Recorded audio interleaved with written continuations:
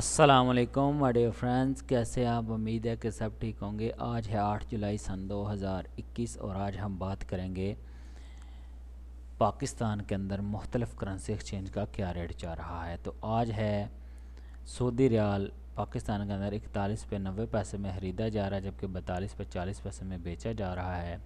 Kuwaiti दिनार आज चार सौ इक्यासी रुपये पचास पैसे में ख़रीदा जा रहा है, जबकि चार सौ चौरासी रुपये में बेचा जा रहा है। कनेडी डॉलर आज एक सौ सताईस रुपये में ख़रीदा जा रहा है, जबकि ऑस्ट्रेलियन डॉलर आज एक सौ सत्रह शरीय पचास रुपये में ख़रीदा जा रहा है, जबकि एक सौ उन्नीस रुपये पचास पैसे में बेचा जा रहा है।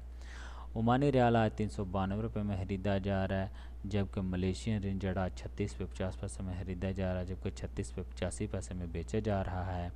कतरी रियाल उनतालीस पे पचास पैसे में ख़रीदा जा रहा है, जबकि चालीस पे दस पैसे में बेचा जा रहा है। बहरीनी दिन आज तीन सौ छियासी रुपये सत्तर पैसे में ख़रीदा जा रहा है, जबकि तीन सौ अठासी पे सत्तर पैसे में बेचा जा रहा है।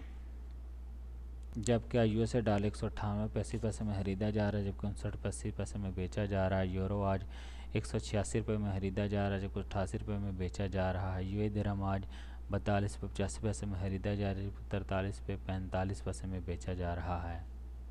और जनाब चाइनी येन तेईस पे पचास पैसे में ख़रीदा जा रहा है, तेईस रुपये पैंसठ पैसे में बेचा जा रहा है। हांगकॉन्ग डॉलर सोलह रुपये पैंसठ पैसे में ख़रीदा जा रहा है। सिंगापुर डॉलर एक सौ पंद्रह रुपये पचास पैसे में ख़रीदा जा रहा है। ये थी आज की छोटी सी video, thank you for watching.